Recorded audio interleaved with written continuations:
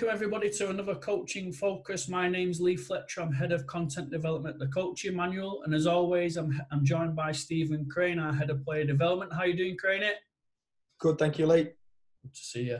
And today we're actually joined by Carl Wild. How are you doing, Carl? I'm really good, Lee. Thanks. Thanks for having me as well, pal.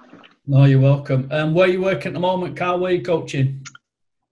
Uh, so, we, in terms of my coaching role, I'm at a, uh, a Premier League club working in the girls' academy. Uh, so, I'm just working in the foundation phase at the moment. So, I oversee the foundation phase. So, we have a couple of age groups uh, within that, and then I predominantly work with the under 12s at the moment uh, within that. Fantastic. Right, as always, Carl, we'll get straight into it. So we're going to today watch um, a, a, session by Anthony Limbrick. So I'll just share my screen with you guys. We're going to look at forward runs to support, and we're going to look at it from Anthony Limbrick's session. So just give you a brief overview to set up 15 minutes, around 12 players, an array of balls, um, and as you can see, 25 by 25 there. But as always, it's best if Anthony just explains it for us.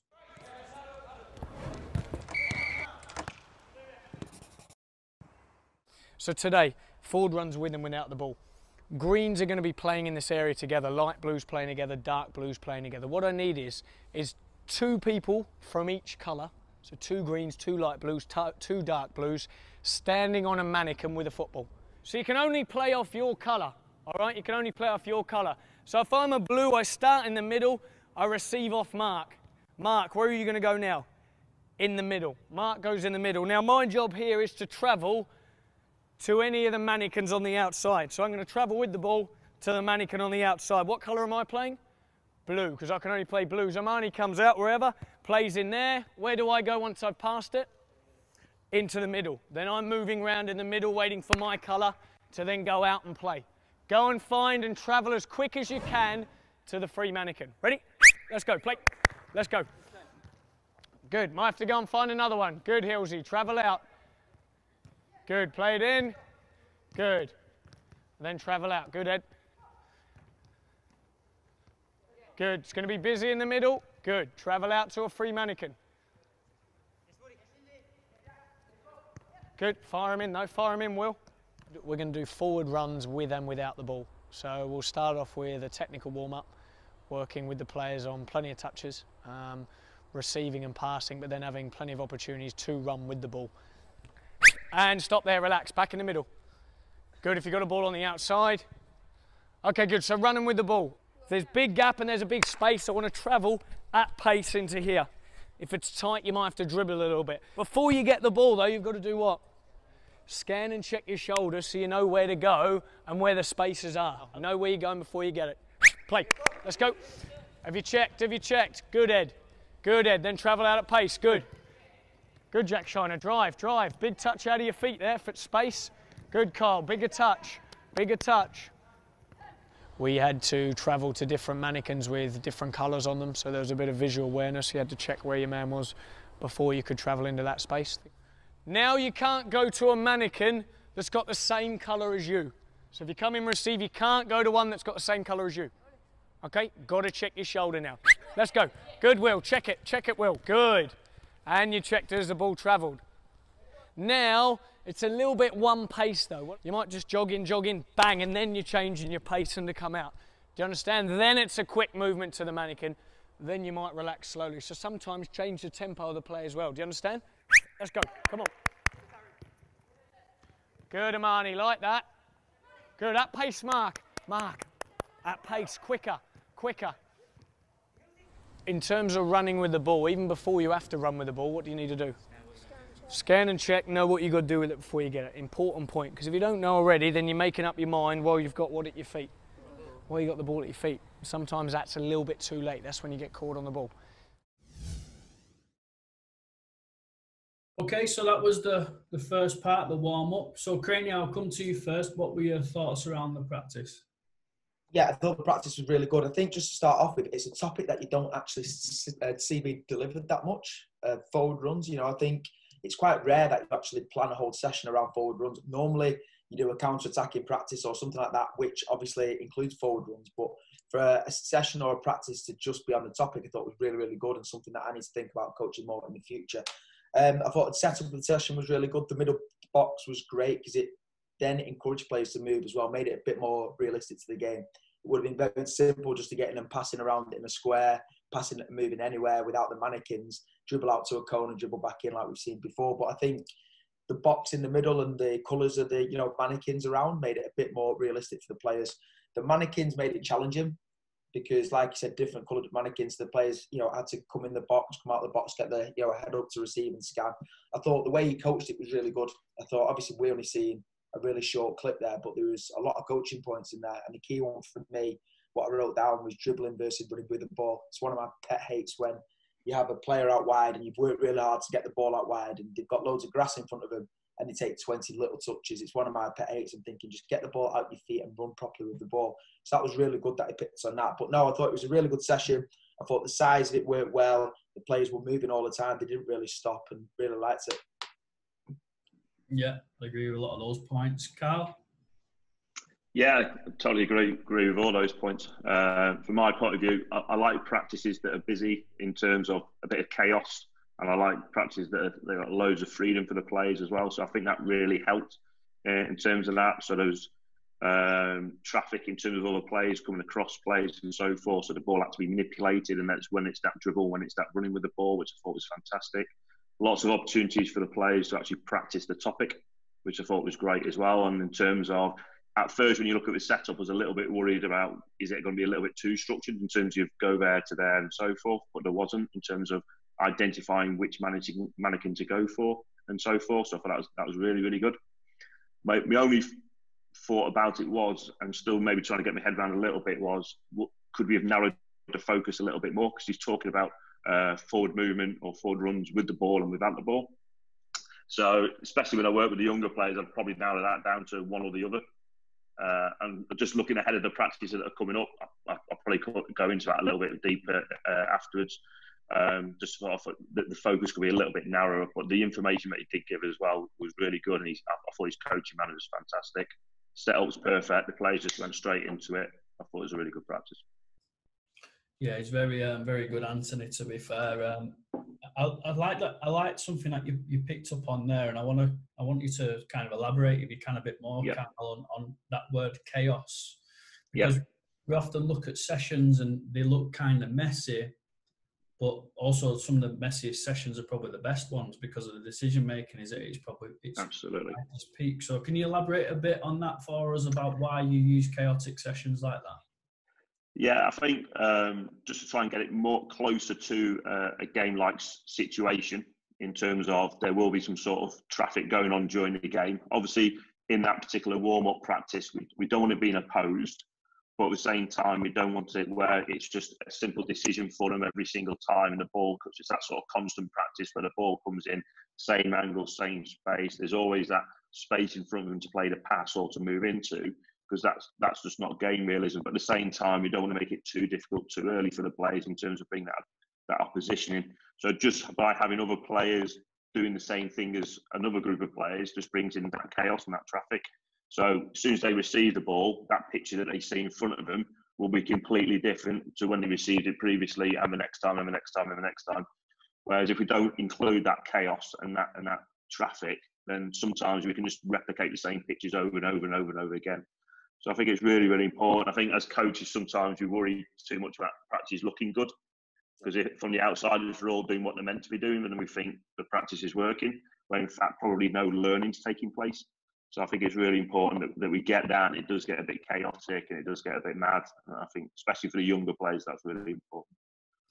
You... That was coming on to the point as well before, Carl. Wanted Flecky as well about the one where you say, okay, you've got to come in the square, turn out, receive, and then you have yeah. to dribble that mannequin. I think that yeah. practice give them a bit of variation as well. So it wasn't just Absolutely. that one mannequin where you come in, you receive, and your back foot, and you have to go there. I think it was actually go back where it come from if you want, or you can do you know whatever you want. And I think that added a lot more chaos to the practice. Yeah. Boom. What's thoughts, Flecky? Yeah, I liked it. I really liked it, um, as especially the warmth in terms of those that detail of getting into it before we actually get into the probably meat and bones of the of the actual practice and the structure part of it. I really liked it. I think for me, similar to you Crane in terms of that detail, I really like the focus on that detail. And one thing that I picked up, he says, know where you go before you get it. And I really like that that one simple line know where you go before you get it. And then the sh- actually breaking it down to understanding why do you need to know where you're going to go before you actually get it. And it's more referencing to looking checking for space checking for the opposition checking for teammates checking where the ball's coming from and all those references but he's done it in one simple term. And sometimes as coaches and, and i'm guilty of this more than anybody is that we give so much information that the players just become overloaded with it and rather than just having a simple term and saying, this is what I want you to do, they kind of have some understanding of what they're looking at. And then you can start picking it apart because he did. He started talking about checking, scanning, looking for the opposition, looking for the, the space more than anything, the mannequin of where you're going to go to. And for me, it wasn't, it was preparing them for the running with the ball stuff and running without the ball because he was just making sure that they understand the technical requirements that's needed at that academy, Southampton, which obviously is a great academy. Um, so for me, that was one thing that I, I really did pick up on. So, Craney, something that you talked about, the one of the very first things that you, you said was running with the ball and dribbling with the ball. Just explain to us a little bit about the differences because I think a lot of people probably don't understand the differences or maybe don't understand the nuances between the two and what you understand of that and, and how you would coach that as well yeah, to be honest, like I said before, it's something that I don't think a lot of coaches pick up on. Okay, I think sometimes we see if a player's got grass in front of them and they just run like and they take two or three touches and get into space. I think we see that dribbling when it's not. It's actually running with the ball. Um, dribbling's more in a tight area, so when you've got to take small touches and you've got to you know manipulate the ball to maybe create space to to get round someone to play a little one-two or to get past someone in a one v one running with the ball is a lot more. Listen, if you've got grass in front of you, get out your feet and travel, and that's what it is. You know, there's no glossing it up. That's exactly what it is. And I think it's really good actually because that practice you can do both of them. So I think you can make forward runs by dribbling, which like Carl was mentioning before, when it is a bit chaotic and it is a bit tight, you might have to, you know, move the ball and get around somebody. But when you do turn out and you can see your mannequin and his grass in front of you, get out to it quickly. So I think that's the main difference. You know, I think it's very simple. If he's small touches on the ball, you dribble him. If the big touches in his grass in front of you, it's running good the ball. Yeah, I think I would agree with that. Carl, coming to you then with that then, because I think this is something yep. that's really interesting for me is do you think as coaches we have a responsibility to let players understand this then? Because I actually feel that we're probably doing a disservice to the to the players that we're always talking about dribbling, ball mastery. Everybody seems to want to be a number 10 nowadays and it's almost dropping into these spaces to then turn and then go and dribble when the reality is the game needs both sides of the coin do you think we have we have a responsibility as coaches to be able to teach this and let players know what the differences are and that being having one without the other is not necessarily a bad thing yeah i think you've got so if we, if we look at that in terms of let's say we were driving the ball then in terms, we do quite a bit of it in terms of the academy where we're working at because it can change the game completely. It can it can get a player from a certain area of pitch to a different area of pitch very very quickly.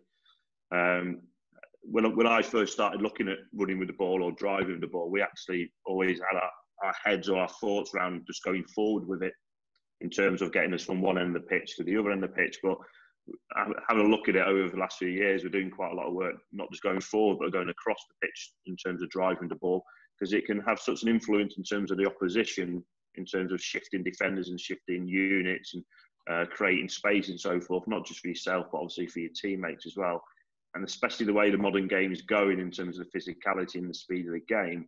And I think this driving the ball is really, really important and then that just links into another different aspect of the game in terms of what players actually have to do. So I think definitely we should be able to give them all options in terms of all different elements of the game and in terms of what may be required against different opposition, in terms of different circumstances within a game. Yeah, I'm 100% on ball manipulation at a young age. We do loads of what we call as individual possession. So we, we, we do lots of work when that, when that player has the ball and that driving, that running with the ball comes into that in terms of because if you can get past the player, what you what's your next thing that you're going to do? And usually, if you've managed to get past that player, that's usually opening up a little bit of space for you. So again, driving the ball is really really important for us. Yeah. Do you know what? Like before you start that, that's a really key point. I think we always think that we're running the ball, to dribbling forward, get forward, get forward. And you just have been thinking then, as Carl's been speaking, then Carl, like Kyle Walker for you know City, for example, the way he runs yeah. the ball inside uh, or drives with the ball inside to create space. It's such a key part to the way to the way City play because then you might have De Bruyne dropping in or something like that, to, and it just creates space wherever. So you know, I think it's something that I need to think about as well as coach. Great point that really, Carl, about actually driving with a ball. Don't have to just be that way all the time. It can be maybe inside to create space for someone to drop in. So really good that. What's your thoughts about that, Flecky? No, I agree. I think I think it's spot on, you know, and maybe again that's something that we're not thinking about of what Carl just said there about driving forward and driving sideways and, and really trying to um, move and shift opposition. For, for me as well, I think there's two other things, and one was actually mentioned in, in the video about change of tempo. And we know that dribbling, running with the ball completely changes the tempo of any game. If we've got that space and we can take that space really, really quickly, then the, the tempo of the game completely changes. And that's why counter attacks are really, really exciting and, and change that tempo within that transitional moment. I also think for me as well is what we're actually trying to achieve with dribbling and running with the ball. And one of the biggest things that we talk a lot about out here is to engage the rival, to engage the opposition, and almost taking that touch or that dribbling to trying to attract the opponent to create the space behind them to the side of them. And now can we get the support around the ball or maybe away from the ball? And that's something that we talk a lot about. And that's actually one of the concepts that we work on at the club that I'm at as well of engaging the rival to then find other passes to either side to then penetrate going forward. So not everything has to be taking on a player, taking on the opposition. It's about moving the opposition, finding passes or even finding dribbling to go into the space and all those things and just really engaging the rivals and and trying to uh, uh, engage them to come to you rather than you always going to them. And that's something that we talk about. I don't know if you guys have got any opinions on that. I'd like to hear your thoughts on that. Carl? Yeah, no, again, it's something that we touch upon in terms of actually just attracting, we call it attracting players, because yeah. I think it's a, it's a key part of the game as well. Because if you can just attract someone out of, and get them to come out of the position where they're at, it just opens up lots of opportunities for you. So there's a lot of key stuff as well. If we go back to that driving the ball, it's it's having that right touch that enables you just to come and attract the opposition player, and then the next touch, can you just get round them at pace? So it, you're not even dribbling; you're just shifting the ball in terms of its direction ever so slightly because that, that defender's coming out you to shift it to the right, shift it to the left, and you pass them within within a few few seconds. And then again, because they've come out of that position, it, then that somebody else has then got to come out of position as well to come and engage you. It then usually opens up space for at least one of your teammates. So I think again, it's a really key point in terms of it. It's running with the ball, but running with the ball under control yeah. and making sure that when it's the right time, you can just shift it one way or the other, just to open the pitch up for you. Yeah, I like that word shift. I think Craney, you talk a lot about that, don't you? About shift and shoot and and how important that can be in shooting exercises. But like you said, Carl, you can use it that way as well.